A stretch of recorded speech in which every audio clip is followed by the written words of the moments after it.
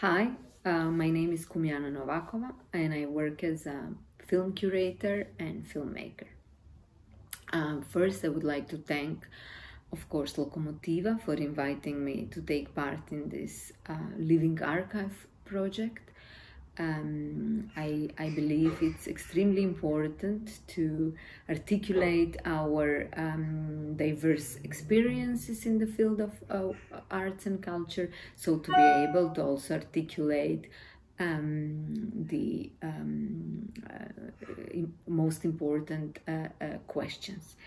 Um, so the first question we are all addressing is what is your take on culture of solidarity in these times of COVID-19 and how can we produce it?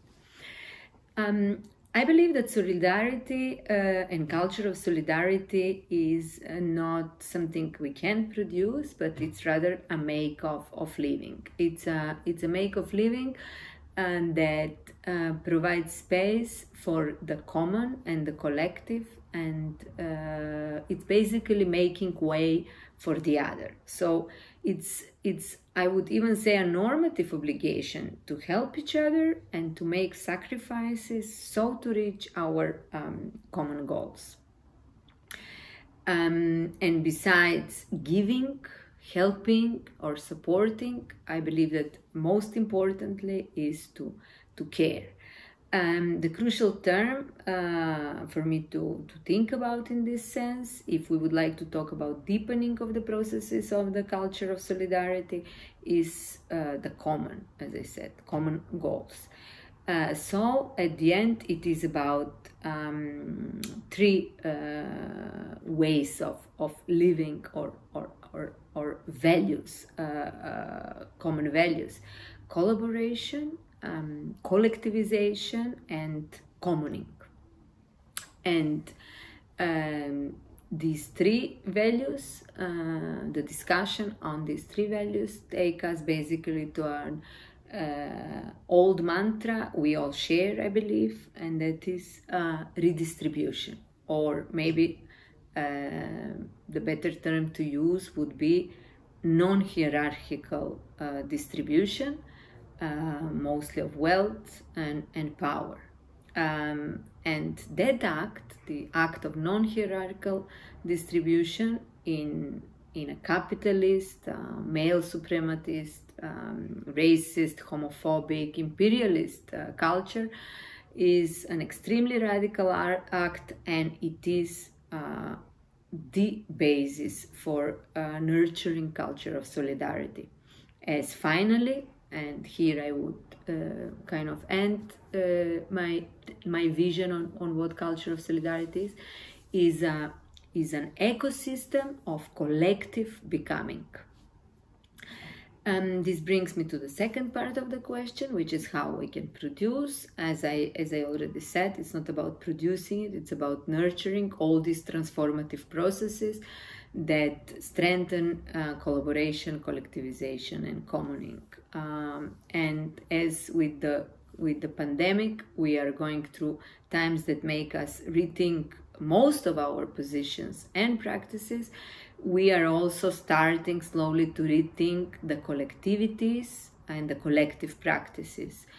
Um, we live way too long with the idea of the individual progress inside of this sacred division of, of, of us and the other and uh, there is uh, only um, the concept of the other is so um, is so present and insisted upon by the culture of of of of, of um, capitalism that uh, there are only others. There is the us is gone. The us uh, uh, is uh, is me only basically. Um, and uh, here we, we we we we have to face uh, the, the the the the condition that the only community that capitalism basic, basically produces, the only collectivity is, is, is me, in fact. It's the society of this abstract individuality and the society of this abstract individual, the supremacy of the individual. And we, there is no solidarity, there is no nurturing of culture of solidarity where the individual is the sacred cell.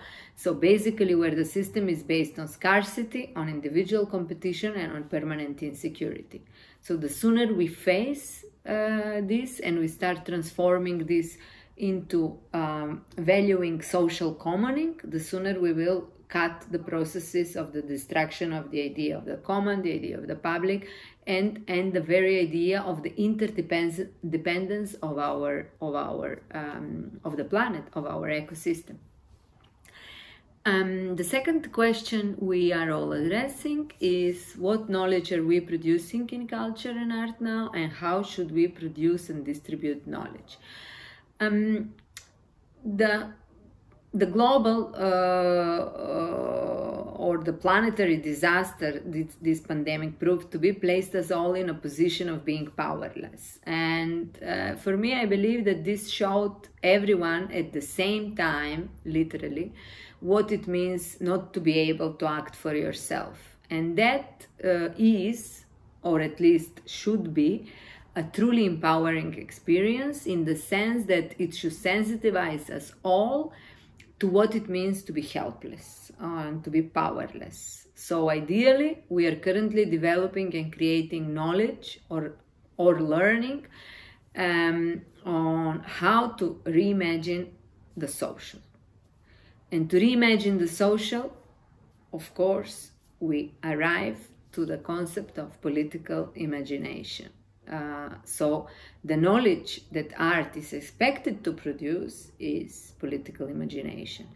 And this is not only now uh, because of the pandemic, but uh, to this conclusion we have arrived uh, long before the pandemic as the crisis of the political is here with us for some time and uh, the pandemic just um, in a way uh, opened it right in front of, of our eyes. So I believe that it's crucial to learn how to accept uh, that uh, there is no linearity, uh, no, there is no linearity in past or in history, there is no linearity in present and in future.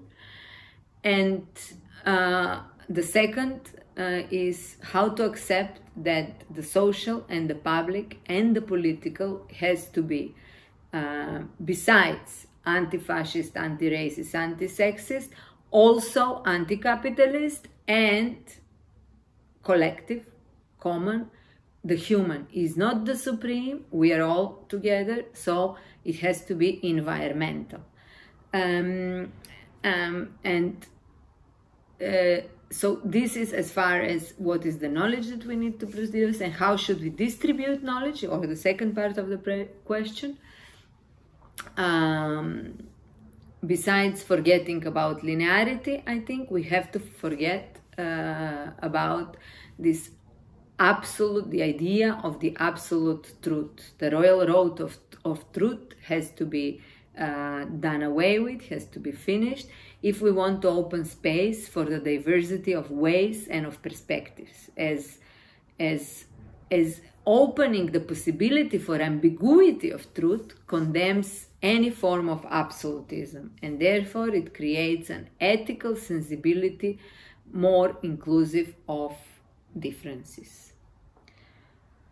Um, the third question is what have we learned from the crisis? Um, can we develop different post-crisis modes and conditions of art and cultural production which will allow basic sustainability and reduce the precarious position of cultural workers and artists? Um, to start with i think that we have to first reject to talk about individuals separated from the environment which is a form of well-being that is modeled on the idea of class and race um, the world is a network of ecosystems made up of differently configured, historically dynamic contact zones, rather than set of distinct and separate ecosystems in which human is the is the supreme. So, in the light of that, the post-crisis modes, or better maybe to say the system of values that art and culture should insist upon and nurture, have to be holistic um, it's not the human versus everything else, but human as part of something much larger than her or him. Um, in order to push for this kind of seismic shift, even I would say, we have to use the current weaknesses of the neoliberal system, as now it's in a moment in which it started working against itself. So, a starting point has to be to stop understanding neoliberalism as an exception and present itself as the permanent state of exception, as this allowed for the precarious to become our condition of existence. Therefore, in order to be able to act, we have to talk about our precarious existence not only as a condition of labor, but as a historical rule, as an ontological position all of this, uh, of course, um, in a way, goes alongside the urgency to contradict the holistic liberal paradigm of purpose free art. There is no purpose free art, art is political. Mm. The fourth question Does the COVID 19 crisis bring forward the idea of social equality, social states, and perhaps universal basic income? How can this be reflected in culture and art? Um, as I, I just uh, said, for me, arts are the space for the social and cultural resistance. So, again, here we go back to political Im- imagination and challenging capitalism itself. We cannot talk about social equality, social states, or universal basic income if we don't talk about the whole arch of precarities that capitalism produces.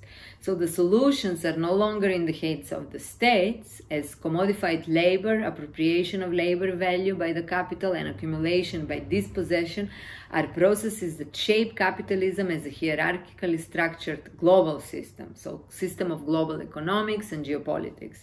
In that respect, COVID 19 brought many ideas at the forefront, and here I see culture or and arts as the space for shaping these ideas and mo- modeling them so to reflect precisely colonization of, of life as a whole.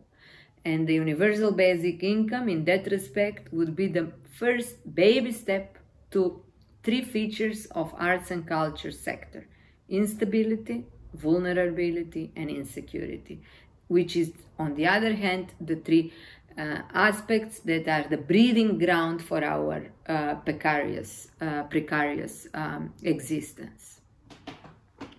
What political and po- the, the fifth question: What political and policy approaches you would foresee in your field of work, or how it should be changed in future? Um, I think that everything that we have said so far, and most precisely collaboration, collectivization, and commoning, are uh, the three approaches that should uh, reign uh, not only um, our field of work, but in general, uh, the way of work uh, of all of us and, and, and the system.